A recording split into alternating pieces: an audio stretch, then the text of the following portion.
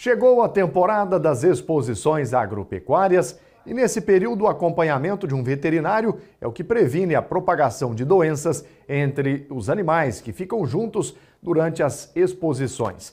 Os cuidados são essenciais e garantem que os animais não passem por estresse traumático durante as feiras. Oi, Leonardo, bom dia. Bom dia para quem está em casa acompanhando o Agro Sucesso. Nós estamos aqui no Parque de Exposições e um dos lugares mais visitados é esse espaço aqui onde ficam os animais. E para falar mais sobre esse assunto, nós convidamos o Juliano Aquino, ele que é o responsável, veterinário responsável aqui por toda essa parte. Bom dia, Juliano, obrigada pela sua participação. Conta para a gente um pouquinho de como é feito os cuidados, porque são animais aí de alta genética, tem todo um cuidado especial, né? Sim, bom dia a todos. Esses animais eles já chegam no parque já com dias de antecedência.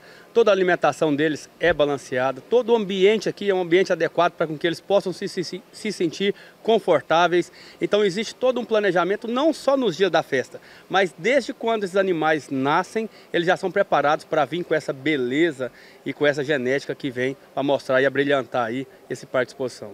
Juliana, a gente percebe aqui também que esses animais têm cuidados 24 horas por dia dos tratadores. Sim, os tratadores, nós também tratamos também os tratadores com muito carinho. Eles dormem em hotéis aqui próximo de Exposição.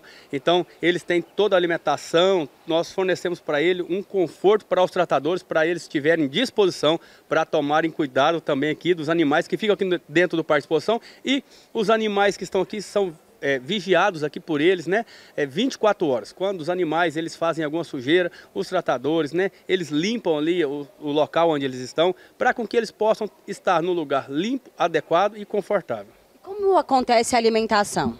É, alimentação, a grande maioria deles já trazem já uma ração balanceada, porque isso exige da raça, do peso, da, né, do, do, certo tipo de animal, então eles já trazem a ração.